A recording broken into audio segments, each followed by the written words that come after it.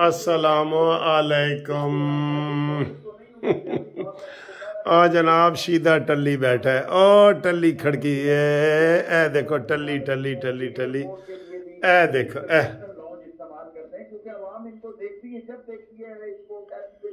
सबसे बड़ा फ्राडिया, कसम खुदा की। सारे ये एक जैसे हैं, लेकिन सीधा टल्ली, ये तो बहुत ही ज़्यादा सर फ्राडी है। आज फिर पेशेंट गोइयाँ कर रहे हैं। कि मैंने कहा था ना, मीम से शीन निकलेगी, शीन से मीम निकलेगी। और मैं इमरान खान के साथ खड़ा हूँ। क्या है? तू चीज़ क्या है? बता। तू चीज़ बड़ी है, मस्त मस्त। तू चीज़ क्या है? तेरी हैसियत क्या है? तू तो बिल्कुल ही वो, जैसे कोई, आप तो आप तो ज़िंदा रह नहीं सकते किसी टीसी के बगैर। ठीक है? और ये ये मैंने टीवी बंद किया, इसलिए मैं थोड़ा सा गायब हो गया था। शेख रशीद की बातें यार देखो, कसम खुदा की। ये यार और जियो वाले खुदा के लिए, खुदा के लिए इस बंदे को ना लाया करो। इसकी कोई पेशेंट कोई आज तक सच्ची नहीं हुई, आज तक। अब फिर कह रहा है जी कि मैं ईद से पहले वो देख रहा हूँ इलेक्शन और मैं ये है, वो है। अब इमरान खान और ये इतने बड़े झूठे हैं, इतने बड़े मकार हैं अभी इमरान की मुख्तलिफ़ वीडियो चल रही हैं कि जनाब कमर जवेद बाजवा को पहले वो किस तरह अपना अब्बा बनाया हुआ था उसने, और हूँ किस तरह जनाब अब्बे तो? ए अब्बा, तुसी कितों लब्बा?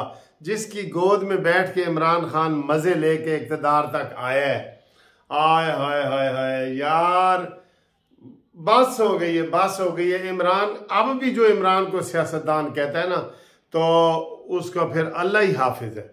वो अपना इलाज करवाए इमरान खान की तरह, ठीक है? वो है ही नहीं, उसको किसी चीज़ का नहीं पता चलता।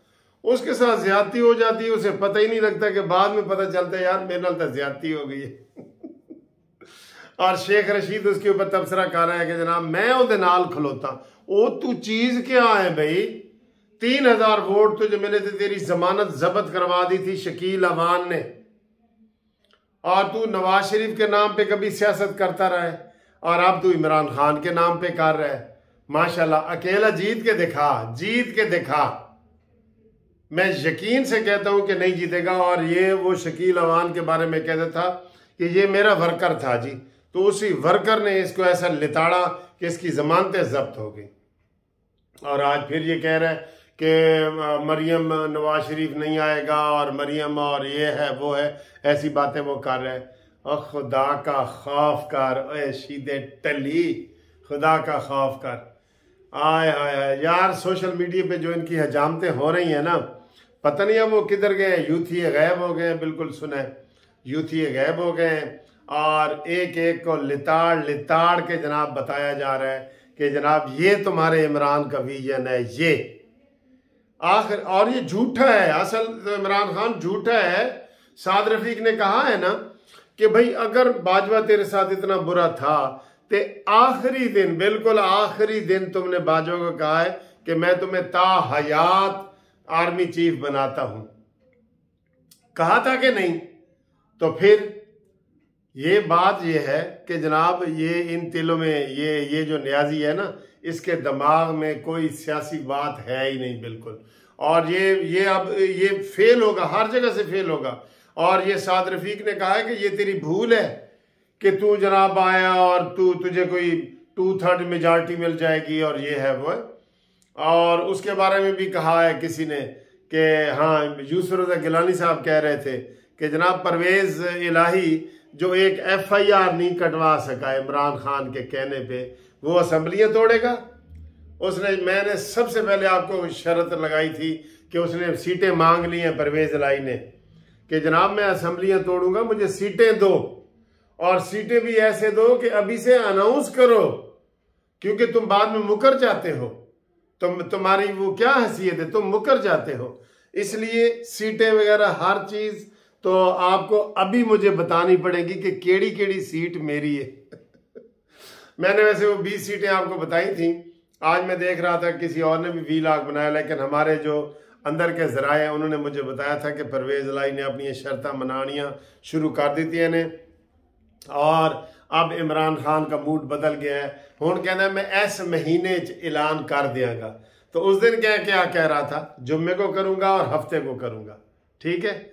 और यार, झूठों का बादशाह है। सराजुल हक साहब, आपने कहा था कि जनाब, अगर दुनिया में झूठों का मुकाबला हो तो इमरान खान वर्ल्ड कप जीत के आ जाएगा।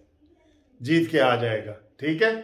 इसलिए जनाब अली इमरान खान की कोई सच्ची बात नहीं है।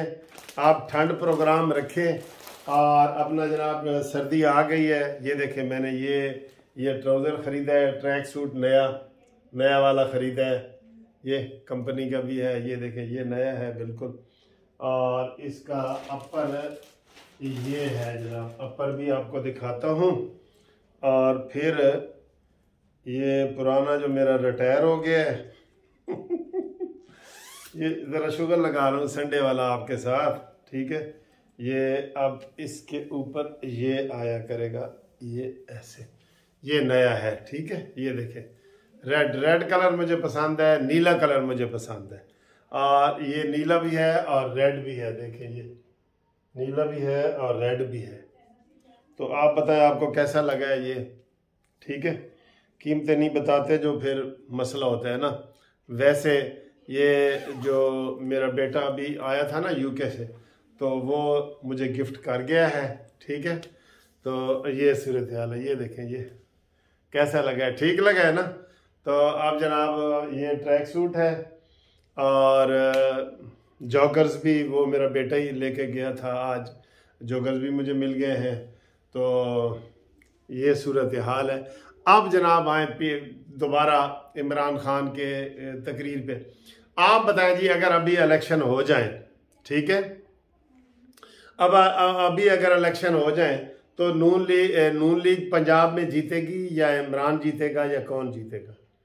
मैं आपको यकीन से कह रहा हूँ, शेख रशीद की तो पेशन कोई ठीक नहीं ना होती। नून लीग वाज अक्सरियत से जीतेगी, क्योंकि अब इमरान को सहारा देने वाला कोई नहीं। अब इमरान के लिए कोई वो बेईमानी करने वाला कोई नहीं। अब आरटीएस सिस्टम बिठाने वाला कोई नहीं। आज वो उनकी तकरीर मुझे कल बड़ी अच्छी लगी है इसकी। एक तो उन्होंने बड़ी वो धमकी दी है इंडिया को कि अगर हमारे साथ कोई खिलवाड़ करने की कोशिश की गई तो हम अंदर, इंडिया के अंदर आके आपको मारेंगे। ये उन्होंने कहा है।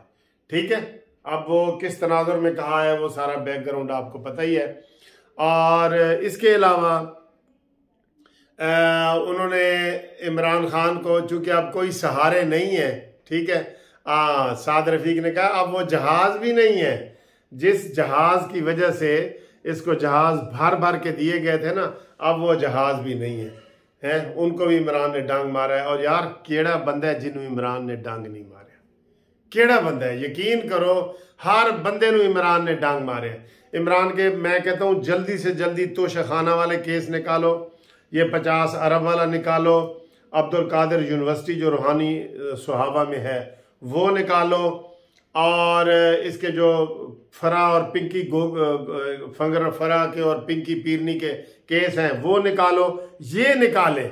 ये तो खुशकिस्मती है इमरान खान की, कि जनाब वो कर नहीं रहा इसके ऊपर। कोई तवज्जो नहीं कर रहा है और इमरान को खुला हाथ दिया हुआ है। और ये इमरान चाहता है कि मैं इनको इसी तरीके से उलझाऊं ताकि ये मेरे केसों की तरफ़ ना आए।